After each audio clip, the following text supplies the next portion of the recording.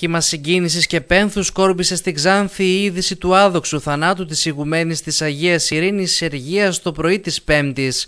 Η 69χρονη μοναχή σκοτώθηκε όταν το όχημα που οδηγούσε ενεπλάκη σε τροχαίο δυστύχημα στη διασταύρωση των Μαγκάνων, ένα σημείο που έχουν καταγραφεί αναρρύθμιτα αντίστοιχα ατυχήματα στο παρελθόν, αναφέρει το ξάνθινέα.gr. Αμέσως μόλις έγινε γνωστός ο θάνατος της γερόντισσα, οι κάτοικοι της Ξάνθης έσπευσαν να εκφράσουν τη βαθιά θλίψη τους για την ξαφνική απώλεια, μιας και πρόκειται για μια ιδιαίτερα αγαπητή στην τοπική κοινωνία προσωπικότητα, η οποία μάλιστα είχε προσφέρει ποικιλοτρόπως βοηθώντας και ορφανά παιδιά.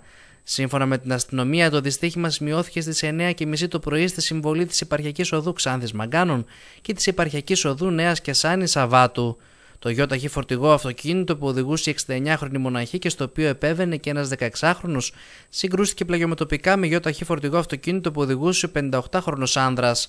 Η σύγκρουση ήταν σφοδρή και είχε ως αποτέλεσμα να τραυματιστούν και οι τρεις, οι οποίοι μεταφέρθηκαν στο νοσοκομείο Ξάνθης, όπου η 69χρονη κατέληξε.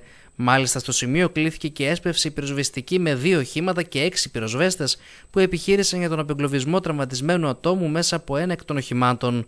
Προανάκριση για τα αίτια και τις συνθήκες του ατυχήματος διενεργεί το τμήμα τροχέας Ξάνθης.